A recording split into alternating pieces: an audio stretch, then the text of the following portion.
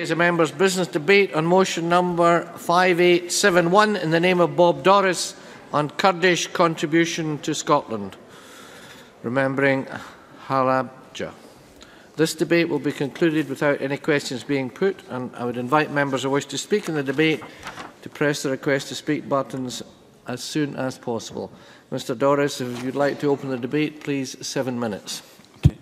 Um, thank you, Presiding Officer. I would like to begin by welcoming my Kurdish constituents from Glasgow, in particular a young man, Mr Shaka Sata, who has inspired me to secure this debate in Scotland's National Parliament.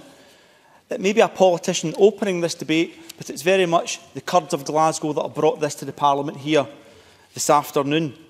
I also welcome Kurds from various parts of Scotland and from across the UK and beyond that are here today, and I thank you for your support. I know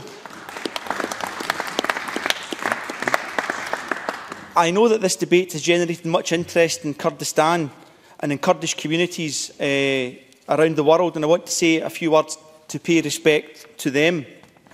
Emma Serburzin ba Kurdakani Scotland, Bashtari Kurdakan La Komogai Imada Gringa Boman, Scotland Hurjis Karasata Tirsna Kakani Halubja Anfal Liad Nakat Kabuna Hoi Hatini Shmariki Zori Kurd Bo Wolat Kaman. I hope uh, Presiding officer, I hope I said we are proud of Scotland's Kurds. Their contribution to our society is valued by our nation. Scotland will never forget the horrific events at Halabja and the brutal Anfal campaign that brought many Kurds to our shores. This debate is an opportunity to pay tribute and thanks to them and for all they do for Scotland.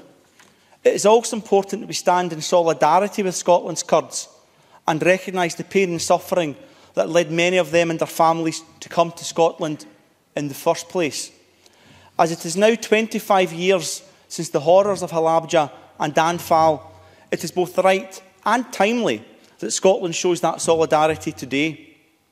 Presiding officer, we must all do what we can to prevent such genocide, such acts against humanity, ever happening again. Never forgetting these events and recognising them as genocide, for me, is fundamental to ensuring that, that, that, that this is indeed the case. Indeed, two other motions before the Scottish Parliament seek to do likewise. The genocide has been recognised. Firstly, in 2005, the International Court of Justice in The Hague did recognise it. In 2007, they again said at an appeal there was genocidal intent. Between 2007 and 2010, the Iraqi Supreme Court ruled that the 1988 attacks on Kurdish population constituted genocide. That genocide has been acknowledged in the Swedish, Norwegian and Westminster parliaments by members there. On the 16th of March 1988, indiscriminate rocket, phosphorus and napalm attacks fell upon Halabja. Chemical weapons likely to have included mustard gas Various nerve agents and cyanide were carried by Iraqi MiG and Mirage fighters. Up to 5,000 Kurds died and 10,000 were injured. Most were women and children. Many died instantly. Others didn't, however. They died painfully afterwards from their injuries, in some cases much, much later. No one can ever quantify the physical pain and mental anguish of those that survived. However, the long-term effects, they can be quantified, such as, for instance, presiding officer, higher probabilities of miscarriage, infertility, birth defects, blood malignancies and cancer.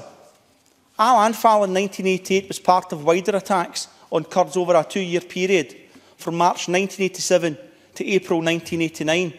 Kurds were, Kurds were forced to endure great pain during this period. This evil campaign was led by Ali Hassan al-Majid, notoriously known as Chemical Ali, Saddam Hussein's first cousin. The scale of the horror was massive. Thousands, perhaps 90% of all Kurdish villages in Iraq were destroyed. Official figures document 100,000 persons disappearing in 1988 alone, although some Kurdish sources claim that could be as high as 182,000. Those abducted or arrested were often sent to concentration camps where women and children were separated from military-aged men, as were the elderly and infirm. Presiding officer, many Kurds across the world, many displaced because of these very events, live with the memory of these atrocities. For younger Kurds in Glasgow and elsewhere, they have heard of these stories, of these events, and it's vitally important that the younger generation grow up in the knowledge and understanding of the suffering of the last generation. And I know that many of them certainly do. However, it is not just Kurds that should remember such terrible events. It's all of us. Before today's debate, Fergus Ewing MSP told me about his work with Kurds in Glasgow in the late 1980s and early 1990s. He recalls attending a ceremony in one of Glasgow's large parks, in Queen's Park. A tree was planted by Kurdish families to remember those whose lives were lost at Halabja. That small gesture, a small gesture in itself, is a powerful symbol of solidarity with Glasgow's Kurds and Kurds everywhere. I am sure that there have been similar events across Scotland over the years, remembering Halabja and Anfal. And perhaps the Scottish Government can consider how to support such future activities in a coordinated fashion. I said that such genocide must never be allowed to happen again. Looking at the world, we see how troubled it can be. Remembering the pain and suffering of history is crucial to that. But so is how people respond. Peace and mutual respect are vital ingredients to that response also. For Glasgow and for Scotland, it should also be about celebrating our Kurdish communities, the doctors, the lawyers, the engineers that contribute to our society, but also the asylum seekers and refugees who still need much support and assistance. I started by mentioning Shaka Sata at the start of my speech.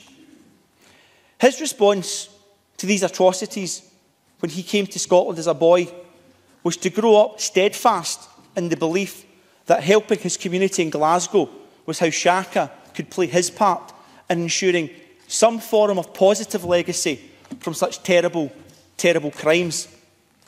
It is a privilege to work with him and others on that task. Presiding officer, Scotland is a more rich and, vi and vibrant place because of the contribution many new Scots have made to our nation. Glasgow's Kurds are a powerful part of that mix. Can I finish, though, by noting that today we commemorate with sadness the events of Halabja and Anfal, but just as importantly, just as crucially, we also celebrate, celebrate the contribution Glasgow's and Scotland's Kurds have made to our nation. Thank you very much. I now call on Patricia Ferguson to be followed by Jim Eadie. Thank you, Presiding Officer. I'd like to congratulate Bob Doris on securing this evening's members' debate on so important a subject. And I very much echo the sentiment expressed in the motion, which welcomes the role that Kurds and other migrants play in making Scotland a vibrant and multicultural country. Indeed, this has always been the position of the Scottish Labour Party and the approach of this Parliament since its inception. Modern Scotland is a place which views ethnic diversity as a strength, a multicultural society which sees new citizens in a positive light and such variety enriches our communities and indeed our democracy. But tragically in Iraq, the Kurdish people have over many de decades faced significant and indeed violent opposition to their desire to progress towards an acceptable degree of Kurdish autonomy. As far back as 1960, Kurds led, left, led by Mustafa Barzani were engaged in heavy fighting against successive Iraqi regimes. In 1970, Iraq did announce a peace plan providing for Kurdish autonomy, but of course it didn't last. And by 1974, the Iraqi government had begun a new offensive against the Kurds. During the Iran-Iraq war in the 1980s, the regime implemented anti-Kurdish policies and a de facto civil war broke out. Shamefully, although the Iraqi regime was widely and rightly condemned by the international community, it was never punished for its actions. Not for the deportation of thousands of Kurds to central and southern Iraq, nor for the complete destruction of villages, nor even yet for the mass murder of thousands of Kurdish civilians. The member's motion rightly focuses our attention on the notorious attack on Halabja in northern Iraq on the 16th of March 1988. This atrocity was perhaps the most infamous episode in a genocidal, genocidal campaign waged between 1986 and 1988 by the Iraqi regime. They do not deserve the name government, so I don't intend to use it. And they waged this against the Kurdish people. This included the use of ground offensives, aerial bombing, systematic destruction of settlements, firing squads, and the horror of this largest chemical weapons attack directed against a civilian populated area in history. And we should never forget the attack, which killed up to 5,000 people and injured up to 10,000 more, predominantly civilians, because thousands more died of complications, disease and birth defects, as we've heard, in the years after the attack. It is right that the member's motion reminds us that the attack in Halabja was part of the larger Anfal campaign led by the bloody tyrant Saddam Hussein.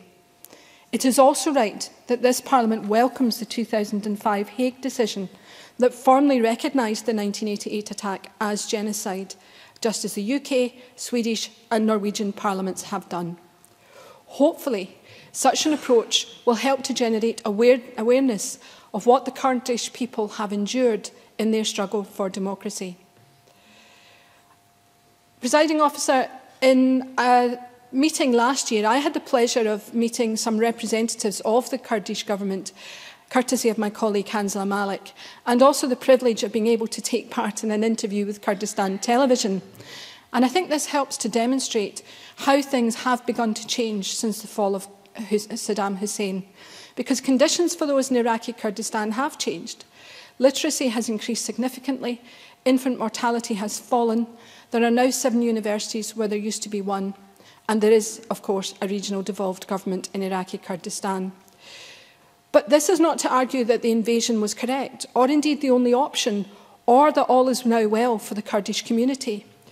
But it does illustrate, I believe, that matters of war and peace are more complex and their consequences less easy to predict than some of the one-dimensional analysis that is sometimes evident.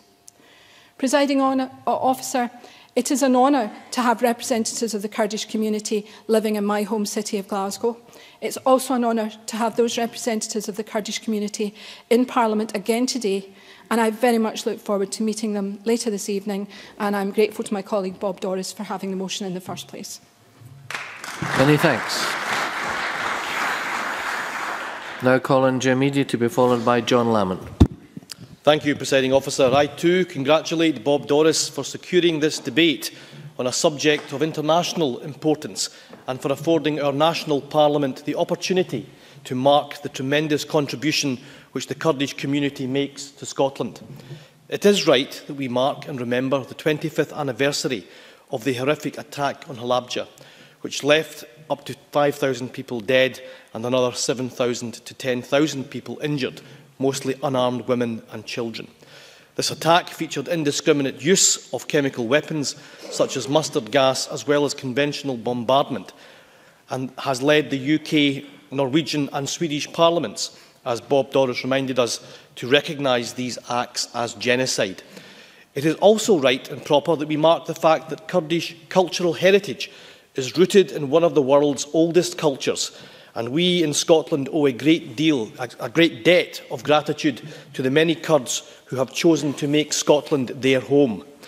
The addition of a people with such a noble culture, steeped in history, has made a great contribution to the rich and vibrant tapestry of life that is present in Scotland and helps make our nation such a vibrant and diverse place to live. The Kurdish people are the largest national minority in the world that has no homeland, but we in Scotland can be proud of the fact that according to the Kurdish Cultural Association, over 2,000 Kurds have chosen to make Scotland their home. As Kurds around the world have recently celebrated the festival of Nowruz, the Kurdish New Year, last week, I would like to offer my sincere thanks to all Kurds present here today and throughout Scotland for the contribution they make to the country they now call home. I'm proud to have members of the Kurdish diaspora within my own constituency, a people that are renowned for their hard work as well as their tenacity in the face of adversity and brutality. Around the world, the Kur Kurdish culture is famous for its ancient history and distinct culture, transmitted through art, dance and song, and despite a long history of oppression that includes the banning of the written and spoken Kurdish word, the Kurdish people have a rich literary history. However, the defining trait of Kurdish culture is their language, which until very recently was brutally suppressed. And despite this oppression the Kurdish people have faced, they continue to speak their language, in which Bob Doris opened this debate. Scotland is a country that celebrates cultural diversity, and this is particularly true in our cosmopolitan capital.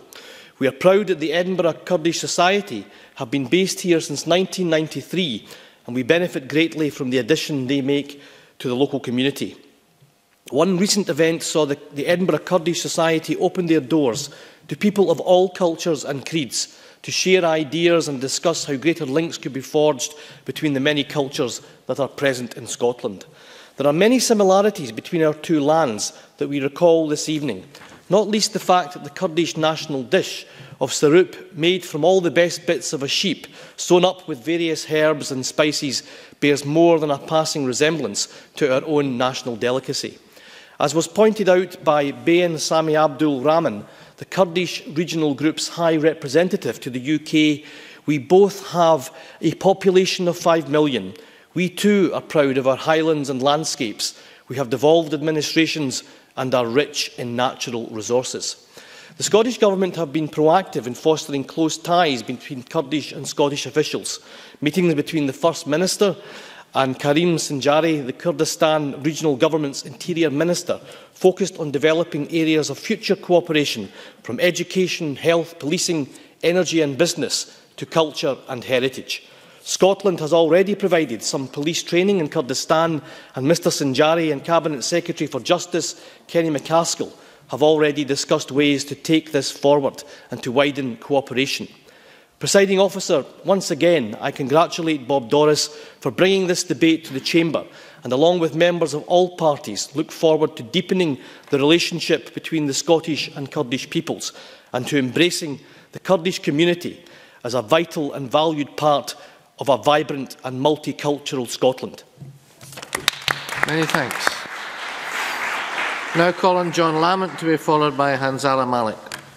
Uh, thank you, Deputy Presiding Officer. And I too begin by congratulating Bob Doris um, for securing this evening's debate, as well as welcoming those in the gallery who have travelled here to be with us in the Scottish Parliament um, tonight. I must say, however, that it is with mixed emotion that I make my um, speech this evening, reflecting on the atrocities such as those systematically inflicted on the Kurdish um, people since the early 1980s is never something to savour. However, this evening's debate provides us with an opportunity to remember those crimes, to learn the lessons that we can, and importantly, to celebrate the Kurdish people, their future and their con contribution to Scotland.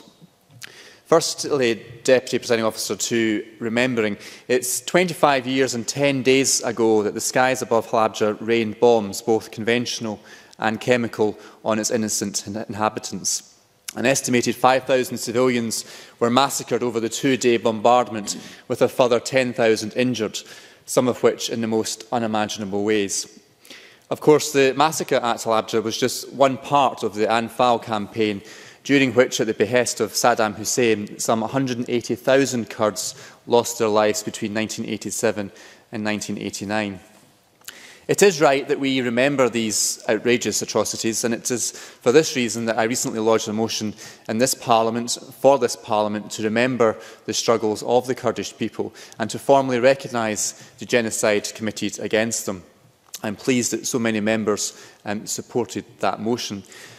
I also think that it's a tribute to the Scottish Parliament as well as an indication that we take the Kurdish population and their interests, both at home and abroad, seriously, that the formal recognition of the Anfal genocide was also the subject of motions by both Labour and the SNP.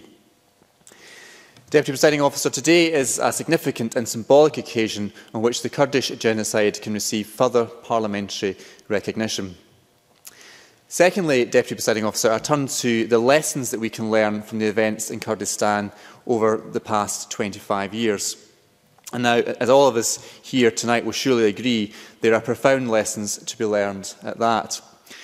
For my own part, the Kurdish experience confirmed my belief that human nature is incompatible with totalitarianism and that only when a people are liberated from tyranny can they pro uh, progress, prosper and flourish. Presiding officer, this gives me, brings me to my third point. What can we celebrate 25 years on from um, Halabja and the Anfal campaign? Since liberation in 1991, in Kurdistan we have seen democracy flourish, the economy prosper, civil society blossom and the regeneration of its civil rights and liberties. Kurdistan now has seven public universities bringing higher education to its citizens. It has a stable and democratically elected parliament with a percentage of women re representatives similar to the level here in this parliament. It has progressive laws which have banned female circumcision and protect women from domestic abuse. And violence, terrorist activity and the persecution of religious and political minorities are significant, significantly lower, in some cases non-existent, in comparison to the rest of Iraq. Deputy Presiding Officer, all of these serve to underline Kurdistan's place as a progressive beacon in the Middle East. And tonight serves as an opportunity to celebrate Scotland's links with Kurdistan, both internationally in the relationship between our two parliaments and governments, but also nationally with Kurds who live and work in Scotland. Deputy Presiding Officer, we must never forget the atrocities committed against Kurds Atrocities which led the head of the Iraqi Graves Commission to remark that there is another Iraq buried under Iraq. Tonight's debate allows us to remember, to learn and to celebrate. Thank you. Thank you. I now call on Hanzala Malik, after which we'll move to the Minister for the closing speech. Uh, Presiding officer, I, I first of all want to thank Bob Doris in achieving today's debate. And I would like to start with the words Bismillah ar-Rahman rahim For the record, it means in the name of God, the benevolent and merciful. And Assalamu alaikum, meaning peace be upon you all, in particular our guests today in the chamber, but more importantly, brothers and sisters back home. I too would like to add my voice to urge the Scottish Government to formally recognize the genocide against the people of Iraqi Kurdistan and to encourage the European Union and the United Nations to do likewise, as many others seem to have escaped prosecution. This will enable the Kurdish people, many in Scotland, to feel a sense of achievement and justice for their loss. And as the UK government has already done with the leadership of Bayan campaigning in the UK, and I want wish to congratulate her and her team in achieving that Uh, achievement in Parliament. Genocide has went on for decades. In fact, in early 1963, it involved the deportation of Orni Kurds, Kurdish people, and in 1970s and 80s, the use of chemical weapons were used. And finally, the campaign in 1987-88, where hundreds of thousands, thousands of innocent people died, families torn apart, over 4,500 villages were destroyed between 1976 and 1988 alone. Genocide at its worst, while the whole world sat back and did nothing. And I say, did nothing. And that's shame on us that we allowed that to happen in this day and age. However, on a positive note, I have to say that I personally have been very fortunate. I have made at least two visits to Kurdistan in recent years, and I'm planning a third visit there. I have received six delegations from Kurdistan who have had meetings ranging from the First Minister, just Minister of Justice, Minister of Education, many other officials and members alike. all in a bit to try and do our bit and trying to correct history. Have done at least two reports in Kurdistan. I have presented the First Minister with one of those reports, and there's a third report being done just now, in trying to explore how we can recognize areas of support and how we can offer support to our friends in Kurdistan. We're looking at education, possible university campuses in Kurdistan, and of course, students coming to Scotland to study. And it's already been mentioned that we're looking at law and order and policing. I had the privilege of visiting the training center in, in Erbil. Uh, and I have to say that I was very impressed with the level of training and more importantly, the feel that I was getting from young students who actually felt an ownership and they were feeling that they can actually work with the community rather be dictated and be abused by the police force. A new concept in policing. We also looked at water supplies and water treatment issues, gas and oil energy exploration. And finally, presiding officer, we are now, exploring the possibility of ministerial visits to Kurdistan. Once again, in a bid to try and bridge, build, bridge the gaps between our communities. Kurdistan is very similar to Scotland, approximately 5 million population, a mountainous region. But the shame of all of this is that the genocide that took place it was the innocent people that suffered. People who were trying to make a living, scratching a living on barren, hard land with no irrigation facilities, targeted from poison gas and weapons. I still can't understand how they got away with it. I still don't understand why we human beings allow this to happen internationally. Of course. Bob Doris uh, Mr Malik for, for giving way. Uh, I, I agree with all the sentiments expressed by Hanzala Malik, uh, the, the European Union and the United Nations were mentioned. I believe that genocide should be formally recognised by both those institutions, but not just for an end in itself, because rather than individual parliaments recognising genocide, the strength of the United Nations in particular would be the entire international community who turned their back on the people of Kurdistan would be formally recognising the genocide there. And that would be a powerful, cathartic experience for the international community to make sure such events never happen again. Hanzala Malik. Thank you for that uh, contribution. I, I, agree with you, and that's the reason why I suggested that we need to ensure that the UN actually takes this on board, because we continuously see genocide taking place around the world, and I think we really need to say enough is enough and we really, to, we really need to learn lessons. And I think young parliaments like the Scottish Parliament has a, an important role to play to add its voice to all the world governments to say, we too wish this to happen. We too want you to take this on board. Thank you very much. Thank you very much. I now call on Humza Yousaf. Minister, seven minutes, please. Thank you, Presiding Officer. Thank you to, to Bob Doris for tabling this motion, securing uh, this debate, which will promote greater understanding of the plight of Iraqi Kurds, uh, also highlighting and commemorating, of course, uh, those uh, terrible tragedies of Halabja and the Anfal campaign, but also, quite importantly, as every member has done, allow us to reflect upon the contribution that the Kurdish community has made to Scotland. I too add my voice and the voice of the Scottish Government in welcoming uh, the Kurdish community here uh, to our Parliament and to their Parliament. Uh, last week, um, this Parliament reflected on 10 years, uh, 10 year anniversary of the start of the war in Iraq.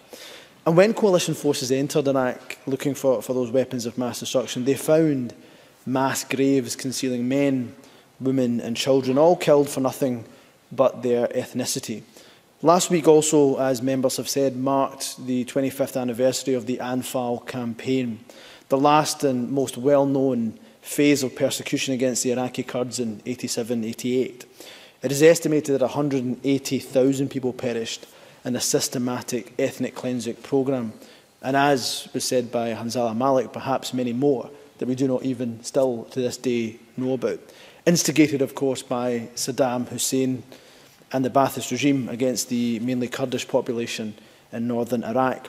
These These atrocities uh, were characterised by the gross violation of human rights, mass executions and disappearances of men, women and children, the widespread use of chemical weapons, including mustard gas and the nerve agent sarin, The worst incident being, as many members have reflected, in Halabja, where 5,000 civilian inhabitants are thought to have died in an aerial bombardment in one go uh, using these chemical weapons. The destruction of 2,000 villages as well as dozens and dozens of towns and administrative centres. Huge numbers being imprisoned without just cause other than their presumed, um, presumed sympathy for the Kurdish. In 1993, the Human Rights Watch report on the Anfal campaign against the Iraqi Kurds concluded this crime far transcended legitimate counterinsurgency and included the murder and disappearance of tens of thousands of non-combatants due to their ethnic national identity. There can be no doubt, presiding officer, this was ethnic cleansing. The events of 87-88 are a tragic example of a man's inhumanity and act as a reminder that Scotland's strong and enduring commitment to human rights cannot be taken for granted. It places a responsibility upon us as a nation to ensure that other countries develop and maintain that similar commitment. Uh, the Scottish Government's international work uh, also reflects upon uh, Scotland's enduring social democratic values. We also use our international engagement as an opportunity to help increase respect for and understanding of human rights worldwide, not through uh, arrogant lecturing, but of course through mature, even tempered discourse with our international partners. We have ongoing dialogue with states uh, at ministerial and official level raising human rights where appropriate in a diplomatic and culturally sensitive fashion. I mentioned that, presiding officer, because as was mentioned by, by John Lamont uh, and others indeed uh, across the chamber, that not everything is necessarily rosy. Things are improving, of course, in, in, in, in, in, in northern Iraq. But still, not everything is rosy, and there still are human rights abuses that are regularly uh, flagged up. Um, developing these relations with those countries then um, helps uh, further uh, increase our understanding of shared world values. I'd like to uh, take a moment to reflect, as others have done, on Scotland's uh, and Kurdistan's relationship that was mentioned by, again, many members, Jamidi, uh, John, uh, John Lamont, uh, and also Hanzala Malik, as well as, of course, uh, Bob Doris, uh, really giving their own personal accounts of how that relationship uh, has built, be it from visits, inward delegations, or indeed by the fact that they have members of the Kurdish community in their constituencies and in their regions. Scotland and Kurdistan do share many com commonalities. Um, population of 5 million, oil, water and gas being our main natural resources, uh, and uh, we are both located north of a perhaps more populous uh, neighbour. The Scottish Government hosted two interns from the Kurdistan Regional Government on a work placement in 2011 in order to help Kurdistan develop its understanding of devolved government procedures. And ministers have also met with representatives of the Kurdistan Regional Government, as was mentioned, to explore areas in which our two countries can work together and where Scotland can share her expertise in the fields of business, finance, uh, education and engaging with the diaspora. And I do welcome that role, as others have done. Uh, I do welcome that contribution that the Kurdish diaspora and other populations make to Scottish society. Uh, for generations, Scotland has opened its doors to refugees, to students, to migrant workers and visitors across the world, all of whom have contributed through their ideas, their skills and their talents to build our country's future. One thing I often say, presiding officer, is that uh, um, in Scotland we often take uh, from the best from, from, from our uh, migrant populations, from those new Scots, Uh, and I always say that cuisine is one of the things that benefits the most. And I always say that uh, from, the, from the Italian community, we took spaghetti bolognese. From the Pakistani and Indian community, we took chicken tikka masala. And it seems Jamidi has uh, perhaps suggested and alluded to that we've taken haggis uh, from our Kurdish population. That might be a controversial uh, thing to say. But indeed, that uh, we take from the best and we have taken much uh, from our Kurdish community we don't see here in Scotland, we don't see ethnic, religious and cultural diversity as anything to be threatened by. Uh, rather, we see it as something to be embraced, uh, uh, uh, embraced as contributing to making Scotland a safer and stronger and more inclusive society. Presiding officer, this debate is about remembering those who did no crime but were subjected to the worst punishment. In the modern day and age we live in, it can be easy, I think, to become desensitised to violence and to tragedy. However, the stories of the most profound human suffering cannot help but affect us all.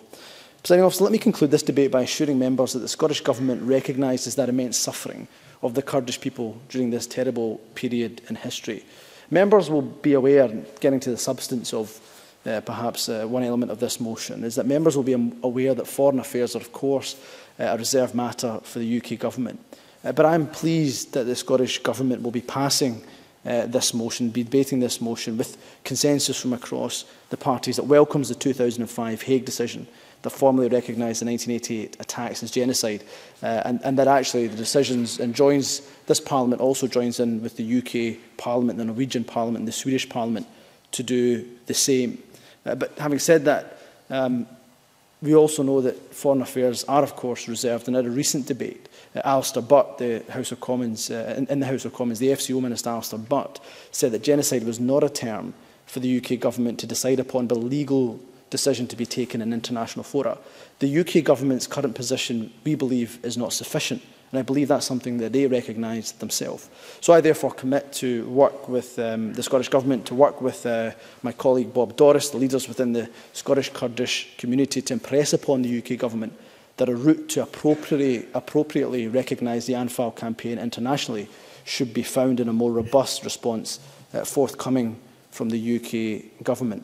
Uh, there is no question in my mind to conclude, presiding officer, and the minds of decent people around the world, that the people of Iraqi Kurdistan were the victims of the most unspeakable crimes perpetrated by a vicious and evil regime, a regime which had no hesitation in committing crimes against humanity and slaughtering the innocent simply because of their identity, language and desire from fear, uh, from fear and oppression. The Anfal campaign is a stain on our collective conscience that we must never allow it to happen again. Thank you very much. And that concludes this debate, and I now close this meeting of Parliament.